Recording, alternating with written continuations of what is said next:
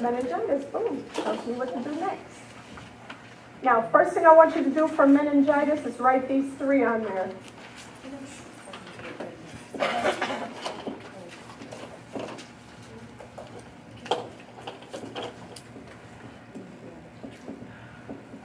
Tell me about it.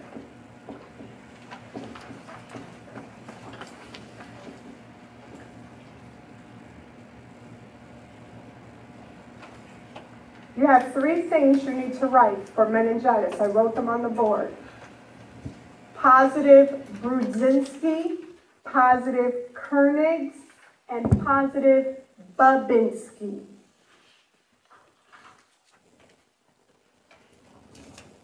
Your patient with a positive Babinski, let me just show you real quick what in exactly is that. Again, you had to use that reflex hammer. That reflex hammer, pretend like this is your patient's foot. This is their big toe, this is their pinky toe. You took the handle of your reflex hammer, handle of reflex hammer, and you stroked across their heel and went up towards the pinky, the pinky toe, what is a positive Babinski? This is positive. Now, how you gonna remember? Babinski, bam. Got to do something. Okay, so this bam, that's a positive Babinski. Who is allowed to have that? Children under two. Children under two. Adults are not allowed to have that shit because they were supposed to do this. When you stroke their foot, they were supposed to do this curl their toes in response. Okay? Now, positive Babinski, that's what this guy has. Brudzinski is that the nurse has the patient supine, so they're laying back, and she gently pushes the head up, and when she does the whole, almost like shin to chest, but not quite, just a little bit of flexion of the neck, the patient's knee bends. I mean, not knee, I should say flexion at the hip. I don't want to say knee. I'll say flexion at the hip. That's what's on the test. Flexion of the hip. Brudzinski. The reason I didn't want to say knee is because I used this word, K, for Kernig, K for knee. Here, the nurse has the patient supine and she takes the patient's leg and lifts it up. And as she's lifting their leg up, they have pain behind their knee. So K for Kernig, K for knee. Now, the patient that has meningitis could have bacterial or viral. If they have bacterial, it's deadly within 24 hours without treatment. If they have viral, we're sending your behind home. You're sick, but you're not deadly. Now, bacterial meningitis versus viral meningitis, we figured this out with the lumbar puncture. So here we go again. Lumbar puncture, fetal position. You are going to see on the lumbar puncture for bacterial meningitis, cloudy fluid, this is a select all, cloudy fluid, positive protein, because bacteria is a protein, positive leukocytes or white blood cells, That's why the fluid was cloudy, because of the white blood cells. And we're going to look at that fluid and test it for glucose. All cerebrospinal fluid is going to be positive for glucose. Here's the normal cerebrospinal fluid glucose count. 50 to 80 is normal.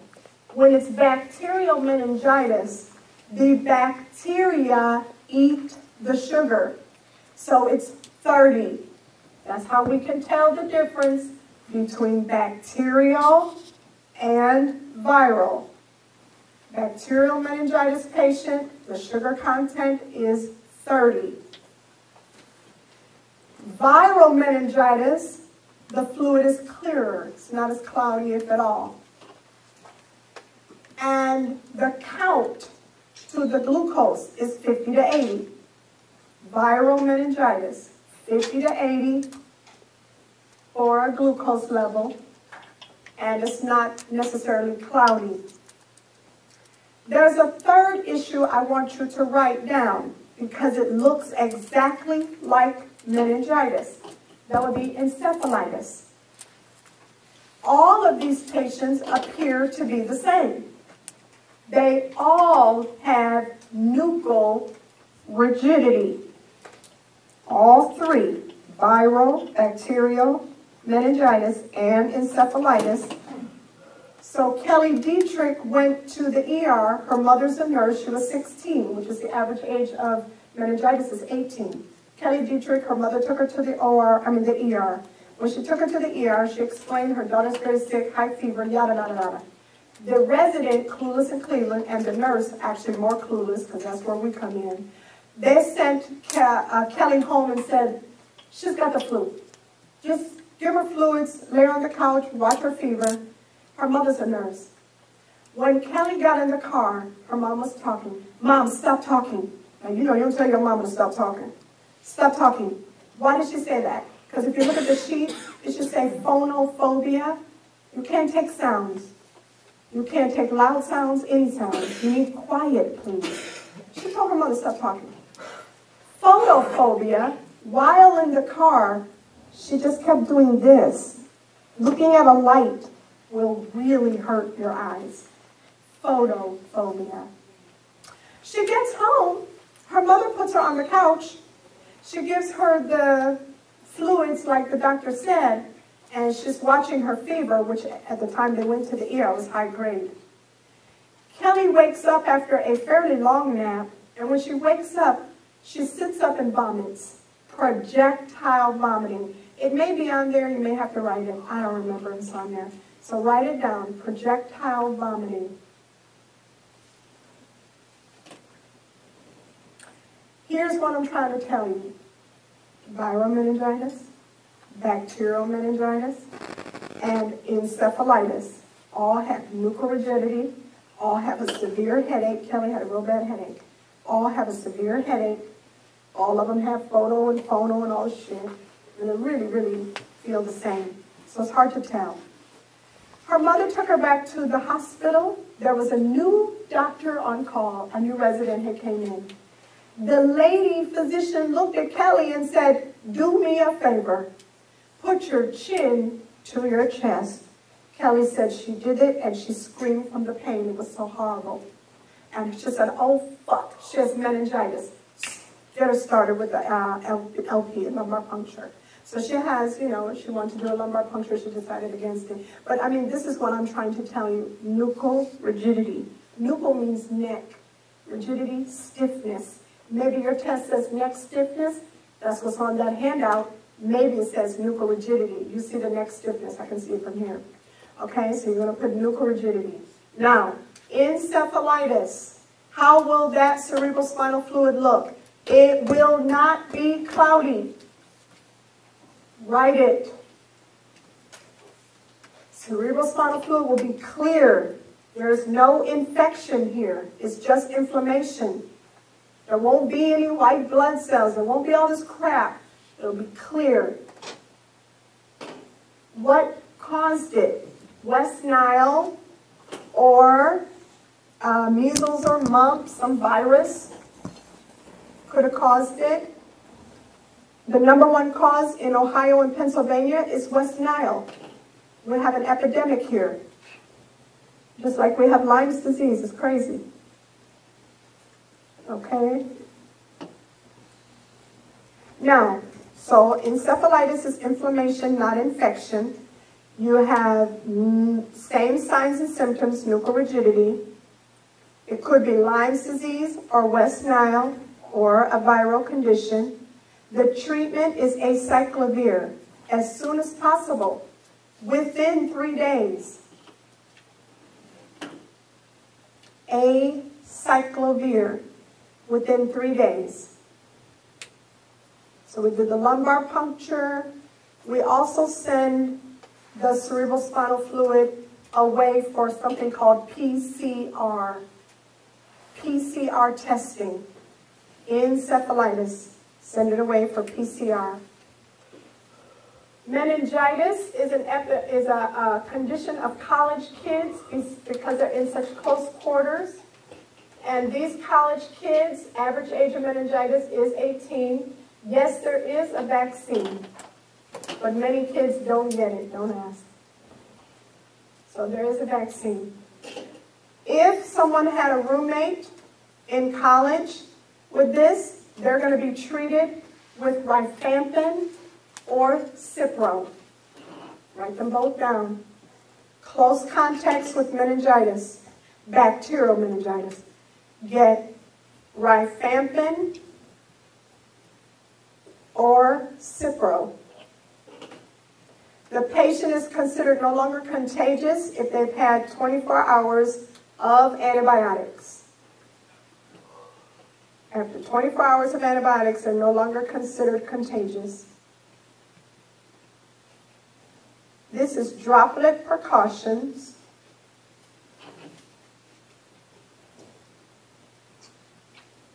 Don't forget the classic three. Patient has nuchal rigidity, severe headache, high-grade fever. The patient's no longer contagious. So the classic three is nuchal rigidity, or nuchal rigidity, high-grade fever, higher than 102, and a severe headache. Everything else is flu-like symptoms. It's kind of subtle. It's easy to miss. That same lady I told you about with the husband found seizing under the car, they lost their seven-year-old to meningitis two years earlier. Just cannot imagine the tragedy. Okay, uh, turn the page. Now, this is what you're going to write on that page. Look at this. You're going to write every single one of these drugs for seizures. Tegretol. What? Look at that. So, so many meds. It's a lot of fucking meds, isn't it? I wrote on my favorite page. And they told me that Zenora's a bitch on me. Yes. There's some confirmation. Tegretol, Dilantin, Lamictal, Topamax. The last two, Lamictal and Topamax. Topamax is also used for migraines. You need to add one after Topamax and put Depakote. You're, you should be on seizures. Really where, where I the migraine. Oh, okay. Oh, and I didn't say it, but I think you know it. Meningitis is seizure precautions. I'm sure you know that, but I don't want to assume. Meningitis is seizure precautions. That's why seizures follows right after. Okay. Now, here's our deal. Tegretol is also used for Guillain-Barré. So every last one of these drugs have an extra use. So Guillain-Barré. Lamictal, you don't care, but bipolar. Migraines, bipolar. I will put migraines because you do care about that.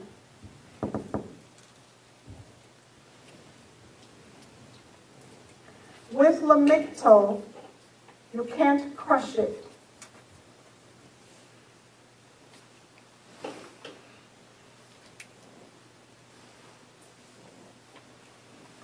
Another drug that was on your test, I'm surprised I don't have it, you can kick my butt for that. Uh, it's a newcomer to your test, Keppra. Did you guys learn about that one? No? Yes. Yes. Oh, boy, well then you better start, because there's a reason I haven't started. Keppra. Okay, so that's another one. Now, this patient can have an aura right before it happens. Remember, when the patient starts to seize, turn them on their side. That's not the first nursing action, but that is going to be on your test. The first nursing action is to guide them to a floor, flat surface, move everything out their way, number two. Number three, turn them on their side. but I think it's gonna be turn them on the side. After the seizure, same shit, turn them on their side. Turn them on their side no matter what, you know. People die from seizures for three reasons. Put all three down. Either head injury when they fall, that's number one. Number two, aspiration, because most patients are either going to throw up during or after. And number three, hypoxia, because you're not doing that great a job at breathing. You're not swallowing when you're having a seizure. You're not necessarily breathing when you're having a seizure. You're not breathing as well as you'd like it to anyway. If you have something called status epilepticus, that means you can't stop seizing. Status epilepsy, right? Epilepticus.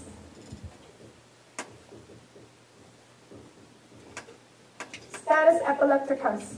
Status. The status of your patient is epi- ep- epilepticus.